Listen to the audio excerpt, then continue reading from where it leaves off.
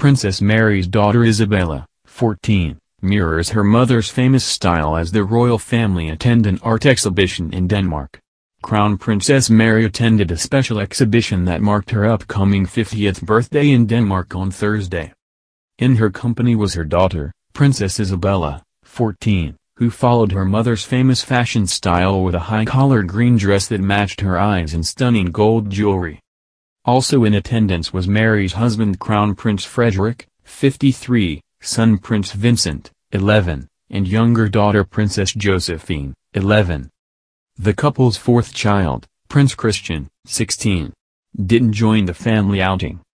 With her brunette locks, refined features and relaxed demeanor, Isabella looks like her mother, but she shares plenty of her father's good looks, too. Princess Mary cut an elegant figure as she opened the exhibition, which celebrates her 50 years of life.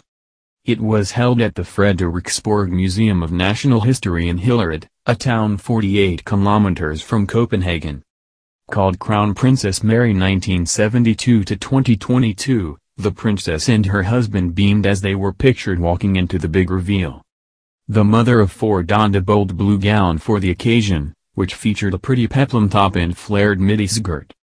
The exhibition includes a brand new painting of the crown princess, which shows her looking regal as ever in a white off-the-shoulder dress with her warm brunette hair delicately styled in a low bun.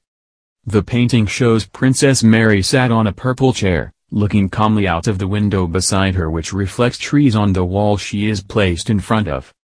She and her family unveiled the painting, which is to act as the centerpiece in the new exhibition.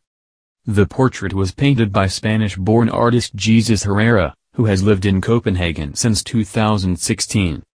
The rest of the exhibition tells the Crown Princess' personal story through photographs and personal items of hers, as well as her importance to the modern Danish royal family. This royal engagement has been one of many in just one week for the family, ahead of her 50th birthday on Saturday 5th of February.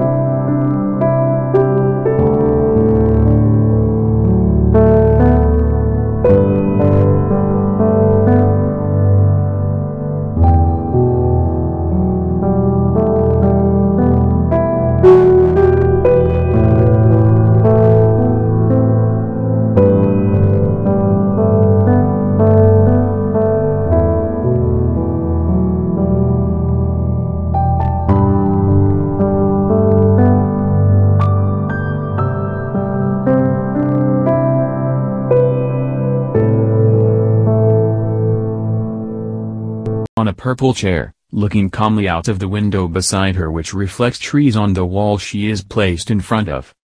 She and her family unveiled the painting, which is to act as the centerpiece in the new exhibition.